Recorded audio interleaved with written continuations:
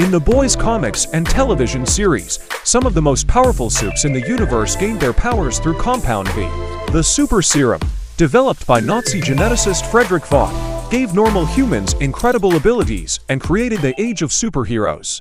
In the show, during the 1940s, Soldier Boy was given one of the first doses of Compound V, making him a powerful and deadly American hero.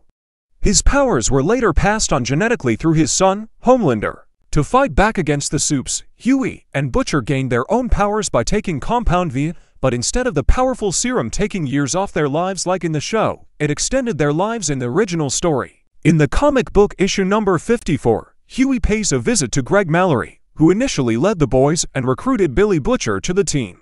While the to discuss the history of the boys squad, Mallory reveals that despite looking like a middle-aged man, he's actually 91 years old.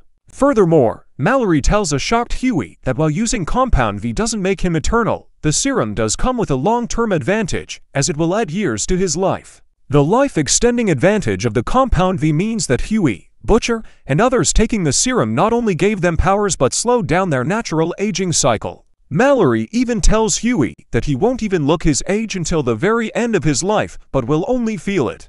It's quite the contrast with how Compound V affected the boys in the live-action streaming series, as taking the serum shortened, not extended, the lives of those who abused it, leading Butcher to only have months to live. In the end, Compound V works very differently in the comic and live-action universes of the boys.